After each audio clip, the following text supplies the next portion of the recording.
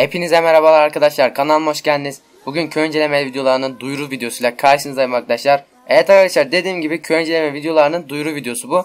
Ee, bugün farklı bir olay olacak. Bugün bildiğiniz gibi önceden sırf böyle yorumlardan seçtiğim ilk 3 kişi ve diğer yorumlardan da işte e, nedir çekilişte vesaire belirlediğim kişileri inceliyordum. Bu videoda bu videoluk farklı bir hatta bundan sonraki muhtemelen incelemelerde de bu şekilde olacak arkadaşlar. Bundan sonra Facebook sayfamızda da köy incelemelerini duyuracağım ve oradan da bazı kişileri inceleyeceğim.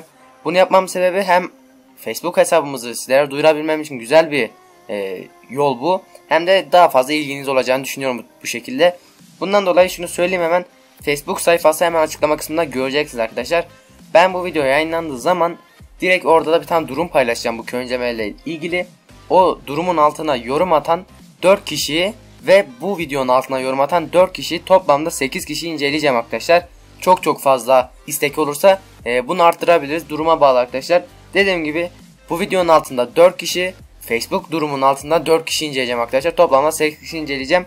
Ne yapmanız gerekiyor? Facebook sayfası veya buraya fark etmez derseniz ikisine de yazabilirsiniz. Tamamen şansla kalmış bir durum olacak. Çünkü bunu yani ilk 3 kişi falan incelemeyi düşünmüyorum. Bilemiyorum arkadaşlar. Hemen yapmanız gerekenleri söyleyeyim. Klan kodunuz, klanınızın adı, hesap ismi ve hesap seviyesini yazarsanız çok çok güzel olur arkadaşlar.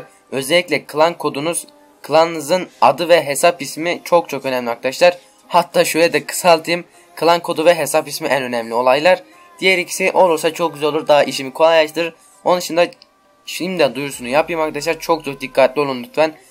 Herhangi bir ufak hata bile olsa maalesef benim için sıkıntı oluyor. Zaten önceki videolar izlediyseniz köy incelemelerine bakamıyorum arkadaşlar köylerinize. Bundan dolayı lütfen yorumlarınızı yazarken, kodlarınızı vesaire yazarken bir daha kontrol edin. Öyle enterlayın.